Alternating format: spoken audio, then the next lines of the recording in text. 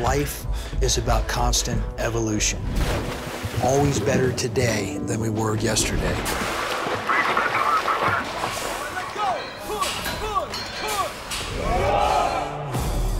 There are no shortcuts to a successful fitness regimen, only hard work and consistency. And to navigate through the mountain of fitness advice available, candidates must learn to separate fad from function. I'm Daniel Fletcher. Welcome to The Only Easy Day Was Yesterday, the official Navy SEAL podcast. In this extended series, we'll speak with select special warfare performance experts to clarify common training misconceptions and provide insight into areas of focus specifically important to special warfare candidates. Today, we extend our fitness series with a discussion about protein powders and supplements with performance dietitian Justin Robinson. Let's get started.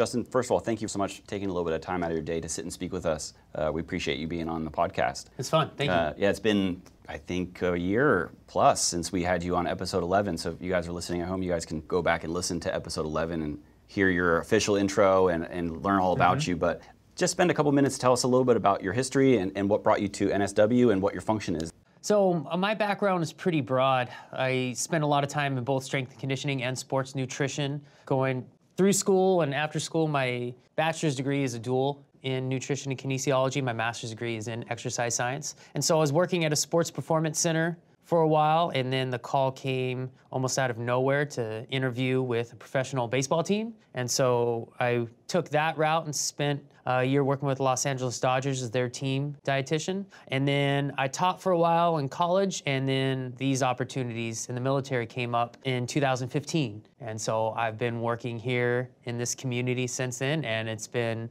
an awesome experience. I learned something new every day here. Yeah, I think that's a cool part of your job focus is just being on the edge. You're constantly learning about the human body performance, and it's just kind of an ongoing thing. It doesn't really stop, you know? Never. And part of that is driven by my colleagues. So I'm part of a Special Operations Forces dietitian working group. So there's about 40 of us across all branches of the military. Part of the learning is us driving each other and coming up with questions, but the other component to that is this community and hence why we're doing these podcasts is that I get questions from students and operators every day and so they're constantly challenging me about new diet trends and new supplements and research studies. It's it's a very well educated right. population here, so it keeps yeah. me going. Yeah, it's interesting because I think a lot of the guys that are in this community, they are the types that would do their own research, I think, and, Definitely. and try to seek their own path, which uh, it's seeking yes. out professionals like you is obviously the smart thing to do. So we have a bit of a series we'd like to talk with you about a few specific misconceptions or big talking points in the community for prep in BUD/S or even in the pipeline in uh-huh. general. We'll start out talking about protein powder and supplements because obviously that is a big broad topic and it's very common in exercise and performance. There's a huge widespread rich market of products that are in front Absolutely. of people all the time how do you recommend recruits start navigating all these products out there and them versus eating clean, real foods? And, and how do you sure. help people or how do you recommend people negotiate that balance? Great question. And I'll tackle that from two aspects. So I will, you know, what they say CYA on my part. You can look it up, see exactly what that stands for in terms of what the students should do when they're here, what they're allowed to do when they're here. So I'll, I'll, tackle that and then I'll discuss the student prepping for this program. So we do have a rather strict supplement policy, and that is essentially no supplements at all once you are within naval special warfare. If you have a circumstance such as a stress fracture history, then we can prescribe calcium or vitamin D. If you have a food allergy, we could probably prescribe something like a probiotic. So there are ways around that, but your basic pre-workouts, creatine, anything that is a pill or powder is not allowed while you're a student here. So I'm a big fan of, I didn't come up with the phrase, but gain the way you train. So one of my recommendations is if you know you are only allowed to have extra calories and extra protein from whole foods, as you mentioned, while you're here, then a large portion of your training should consist of getting those calories, getting the extra protein, extra vitamins and minerals from nutrient dense and calorie dense food. So, doing things like eating trail mix instead of chips. Instead of a salad, maybe you have cooked vegetables because that's going to wilt it down and you'll get more on your plate. Using olive oil or coconut oil in the foods that you eat to get some extra calories, hard boiled eggs, for example. So getting your calories from there. But I'm also a realist. So I understand that a lot of the individuals prepping for this program probably have part time jobs or still in school and are probably training twice a day. And so if you're going from one training session to school or from school to job, you might not have time to prepare a meal. And so grabbing a protein shake is a very convenient thing. So my advice for when or why to take a supplement really comes down to convenience. I do feel that whole food calories are better calories, but you know, we'll discuss recovery aspect in a little bit. But I think you may not be able to get the calories that you need just from whole foods if you have such a busy, hectic schedule, especially if you're 18 or 19. Maybe you're living in an apartment with some friends and it's just not there. So, definitely valid reasons to take a supplement. Let's just talk about protein maybe just for a second. I think that's probably one of the most popular powdered, we'll say supplement. Yes. Um, that's really commonly used for good reason, I think, a lot of times as a kind of an add on to an existing really well rounded diet. Do you think that protein powder itself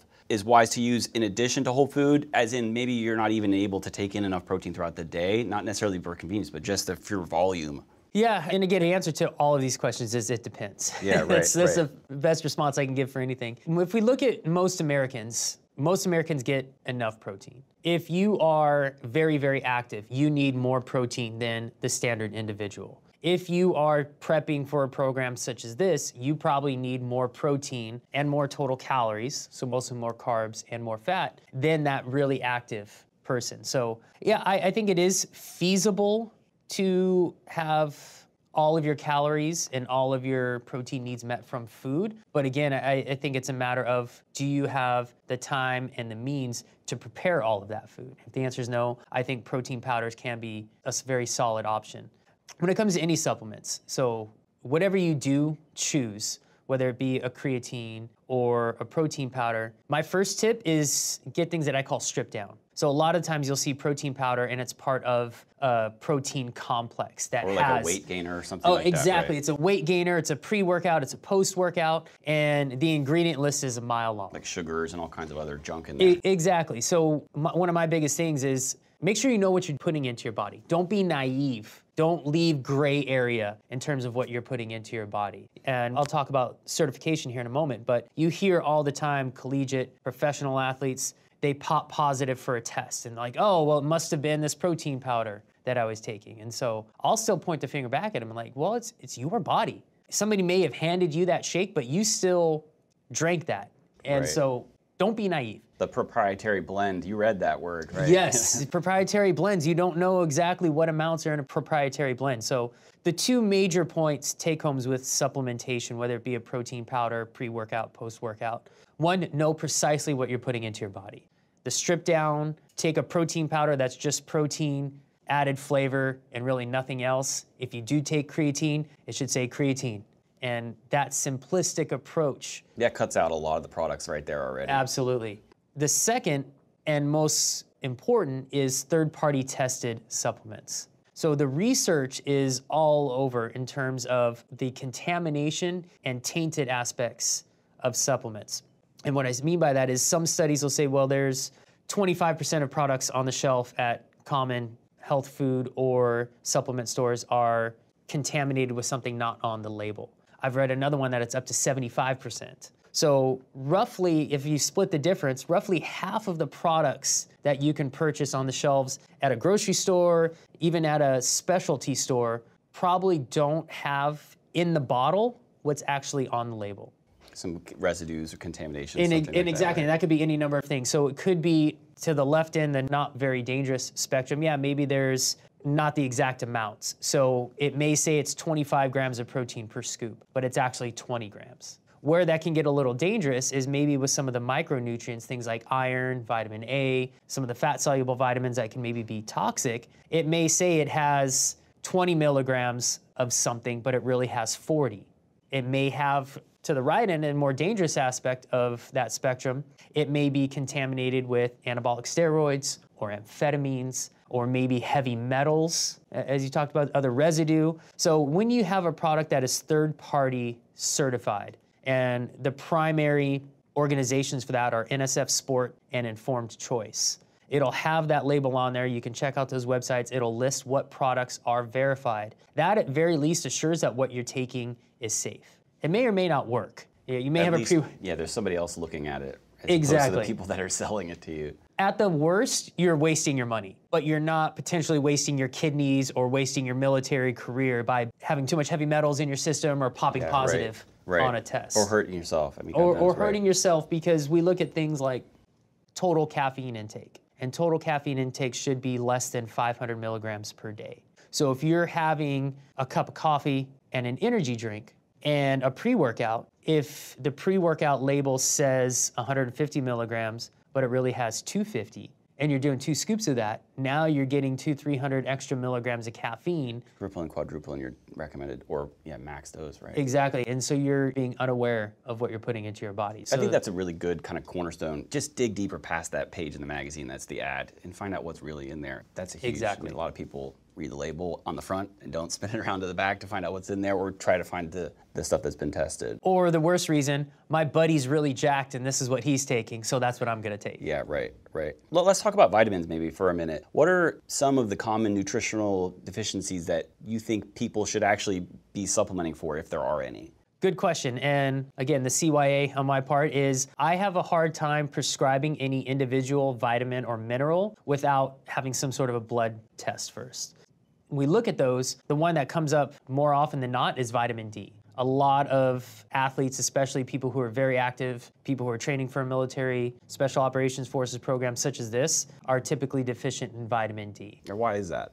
So it's not just a standard vitamin, it's also a hormone in the body. And because it's used in so many different processes, I, I don't know the exact pathophysiology of it, but because it's used in a number of different processes, it's not just for bone health. It's important in gut health, uh, it's important in other hormone regulations in the body, especially in our community, even though the guys are outside quite a bit, they're usually wearing long sleeves and pants and covers. And so that minimizes skin exposure to the sun. Depending on where you live, if you are, I forget the exact longitude number, Oh, but if you're right. north of Denver area across the United States, you have lower UV ray exposure. Right, And so that right. may increase your risk for vitamin D deficiency. So I, I would say that would probably be one of the big ones. Calcium and iron, we do see a little bit. However, I wouldn't prescribe iron, especially without that iron panel, because iron can be toxic in the liver. So yeah, uh, maybe a multivitamin, vitamin D, right? Yes. That's pretty much it. Yeah, there's if people talk about it, it's it's great for insurance. So I have no problem somebody wants to take a multivitamin, but there's been zero conclusive evidence that taking a multivitamin really does anything for performance or even for our immune function. So people will say, "Oh, well, take a multivitamin because you won't get sick as often or it'll improve your strength or performance or recovery." There's really no evidence to support that. However, there's really no evidence to say that a multivitamin is dangerous Oh, or yeah, bad for you, or right? bad for you outside of taking something that is not third party tested that may have other contaminants in it. So if you go to again a popular health food store a lot of the times they'll have the men's pack multivitamin. Mm-hmm. And it doesn't just have vitamin A, vitamin C, vitamin D. It'll have an herbal tons of stuff in extract pill. It'll have this and that. And going back to what I mentioned with supplements not matching the label, Oh, not right, matching right, the right. product, the biggest culprit of those are herbal supplements. So things like ginkgo and ginseng, those are really all over the place in terms of not matching that, again, the 250 milligrams of whatever it says, that amount not being in the bottle. How do you recommend people decipher between a high quality vitamin and something that isn't? I mean, is it just based on price? Where do you start with that? To some extent, yes. I do think you get what you pay for, but the caveat to that is there are a lot of overpriced products. Yeah, right. So I probably would not go to a dollar store to buy my vitamins. I would say it goes back to making sure that it's third party tested. A friend of mine who works with the US Olympic and Paralympic Committee, she has a two step process. Step one, is it third party tested? If the answer is no, you stop right there and you don't even go to that. And I, I like that approach. So again, that affects more of the safety as opposed to the efficacy right, right. of that.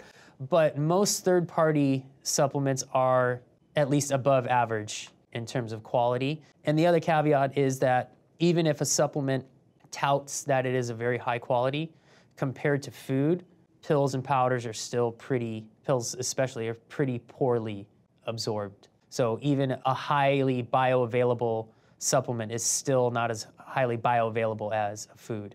So with vitamin D, you mentioned um, being remotely commonly deficient in people, mm-hmm. I guess kind of a broad stroke. What can people do to give themselves the exposure or what foods to eat to kind of cover that base if that's possible? Sure, and that's the thing. Vitamin D is pretty tough to get from the diet. Uh, mushrooms are one of the only natural sources. We talk about dairy products, but that vitamin D is added a lot of the times to those products, but uh, they are in dairy products. So again, I'll go back to the same analogy of making sure that your supplements are stripped down. Uh, I would say the truth also applies to most foods. So things like yogurt and milk. I'm actually a bigger fan of Greek style whole fat yogurt, whole fat milk. It's less processed, looking for products that maybe have less added sugar. So the whole fat natural grass fed if you can afford it, dairy products. Outside of that, it's really fortified foods.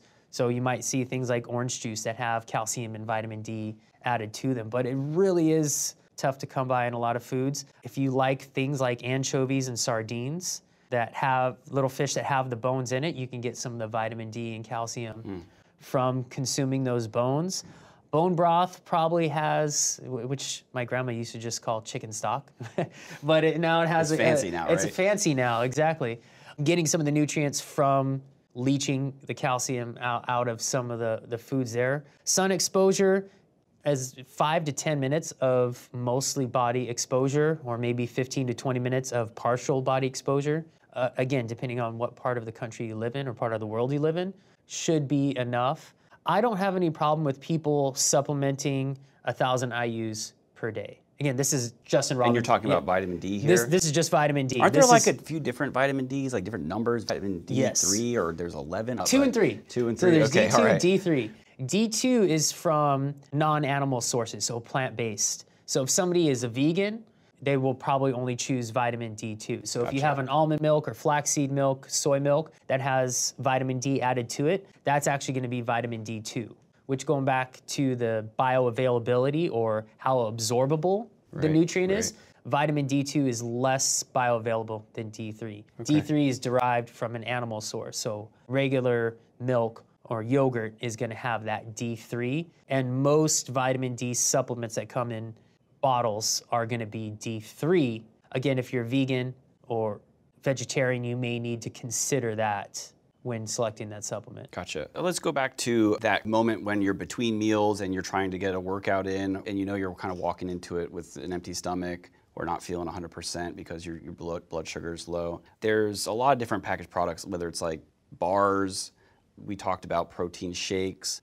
what can you kind of maybe recommend people either like steer towards or maybe avoid? Obviously, there's some things that are just going to be like sugar products, you know. But exactly. I think that certain people maybe uh, gravitate towards certain types of protein, whether it's a whey protein versus an egg protein or something yeah. like that. You were talking about the bioavailability of vitamin D3, one being more absorbable yes. or faster abs- absorbing than others. In the protein spectrum, is that the same? Is everyone different? Or maybe you can unpack that a little bit. That's a lot to unpack, but yes. So, to answer the first part of the question, the simple message I give is that if it's two to four hours before a heavy workout, that's when you want more sustained energy. And that's gonna come from a combination of a carb, a fat, and a protein. And beyond that, it really does depend on what works for you and for your stomach.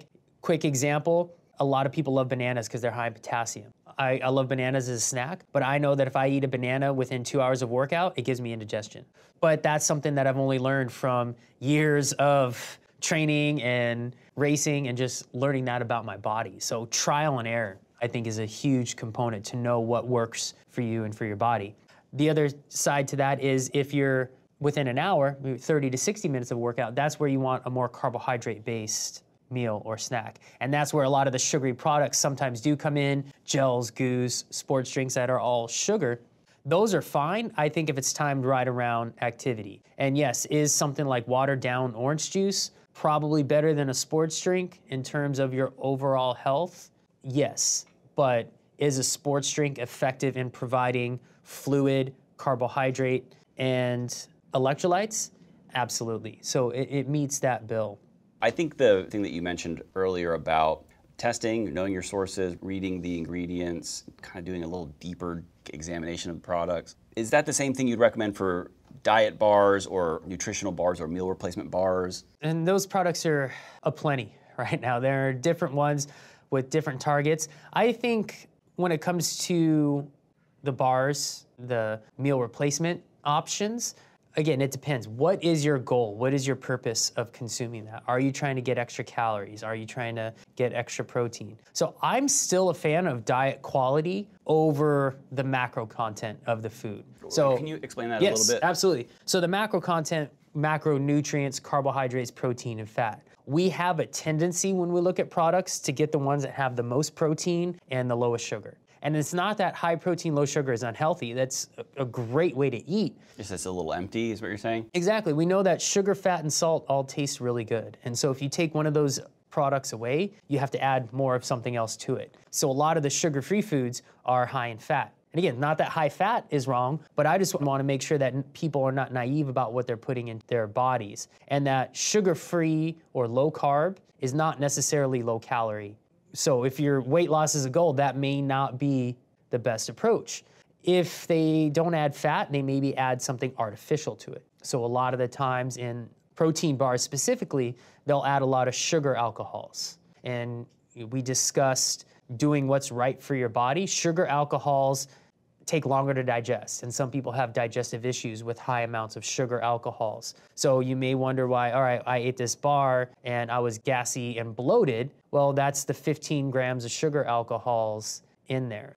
I'm still a fan of looking at the ingredients list. And we mentioned this in the previous talk that the fewer the ingredients, the better. A whole food approach is better if the ingredients are actual foods and not chemistry words that's still what I look for. So I, I do have a tendency to skip the grams of protein and grams of sugar, and I go almost directly to the ingredients. It's food, and that's what I think we need to put into our bodies. We don't have time to get into gut health, but the short answer to that is artificial colors, flavors, artificial sweeteners may negatively impact gut health. And so the whole gut microbiome discussion in five years and 10 years, we're gonna have really a lot of discussion about this because we're just kind of getting the data back finally. Yeah, you right? just the very very tip of it. Uh, but it's related to our sleep, it's related to our immune system, it's related to weight gain and weight loss and appetite. So, if we are constantly pumping our bodies full of artificial ingredients, yes, we may be cutting down on our calories or increasing protein or cutting down on sugar, but at what cost? And so, the major concept now is lower calorie is not necessarily the best way to lose weight. I believe that performance, weight loss, overall health comes from higher quality of food and more real food as often as you can. I think that's a really great note to end on. Look at your ingredients, eat as much whole food as possible, and only rely on these when you really, really are in a pinch. Exactly, and plan ahead. Again, if you know that you're going from school to work to a training session, then yeah, pack trail mix, pack a bar or two, pack a protein shake that has a nutrition facts label or is a third party tested protein shake and that has, again, those simple ingredients inside of it. And then that way you don't come home at six o'clock at night and overeat on unhealthy food because you have no willpower because it's been four hours since yeah, you've eaten and you've been expending right. all this energy. So, yes, you're absolutely right. I think planning ahead is an aspect that I would add to that has an enormous amount of benefit. Well, awesome. Thank you so much for talking with us about uh, protein powders, supplements, and all this stuff. Thank you. Find out more at sealswcc.com and join us again for the next NSW podcast.